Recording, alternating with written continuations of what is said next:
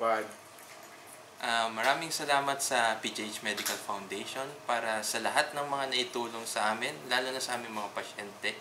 Ah, mula sa mga pondo pang CT scan, pagka mga pagkakataong na sira yung CT scan natin, pati sa mga gamot at mga ibang devices, lalo na sa amin sa surgery, kung saan may yung mga ibang gamit ay hindi available sa pharmacia natin, ay natutulungan ninyo.